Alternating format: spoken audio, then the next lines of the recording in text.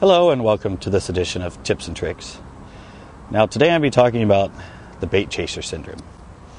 I know probably some of you watching this have the syndrome or you know somebody that has this syndrome. Um, like I had a friend, and every time I went out and used a lure and caught fish on it that he didn't have, anyway, I gave him some and he might not have caught them on it that day. The next day we went out, he had that lure in every color and every size. And then if that day I was fishing something different, and I would usually give him one to use, and even if he didn't catch fish or only one or two on it, again, the next time we went out, he had that lure in every size and color. And he hadn't even fished the other lure he just bought two weeks ago in every size and every color. But I could see how, through the marketing and, and through uh, commercials and stuff, how a lot of, especially uh, new to bass fishing or maybe people that have been struggling at bass fishing, might fall for some of this marketing because I was going through one of these these Bassin magazines, and this one happens to have the uh, 50 best new lures for 2010, and right in the middle of it is uh, this little article, or what appears to be an article.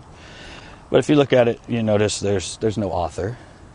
There's firsthand accounts of people seeing it catch so many fish, uh, but no names. Uh, there's quotes with no names attached. That's because it's a very cleverly written ad. It's a marketing thing. And look at the title New Lures Catch Rate May Be Too High for Some Tournaments. Are you kidding me? It looks so real, it's going to be banned. How many pros design for top name companies every year and design things that look more natural and more real? I mean, give me a break. And then it goes on in bold, of course, the, the highlight caption underneath that. Outfishes other baits 19 to 4 in one contest. Contest? I'm sorry, I didn't know we had bass contests. I thought we had tournaments. But anyway, how many tournaments go on on a given weekend in the US? Hundreds and hundreds, but oh, look. 19 to 4 in one tournament. And then underneath that, the other catch thing uses aerospace technology to mimic a real fish.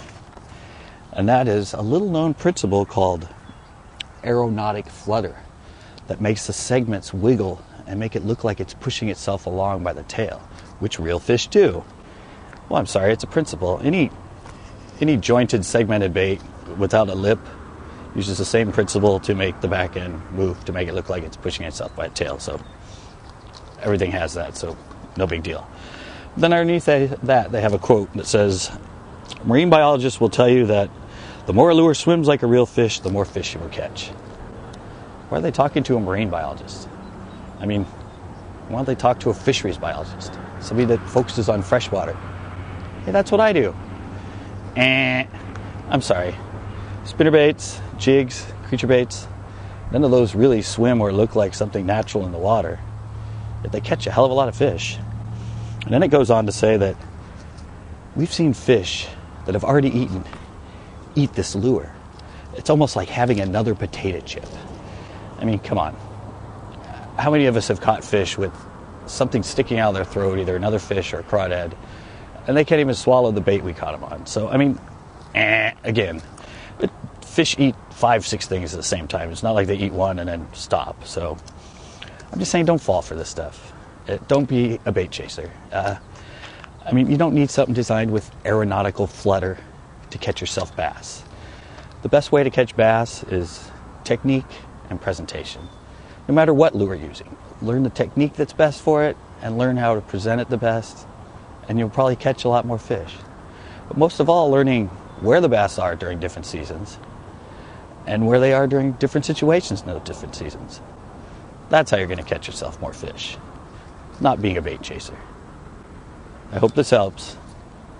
Until next time.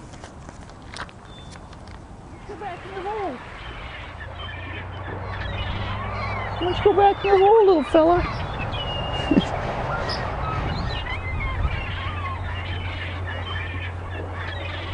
attitude gopher, attitude gopher. Where do you come from, Caddyshack? Are you a Caddyshack gopher? Oh, yeah, that was a good bite.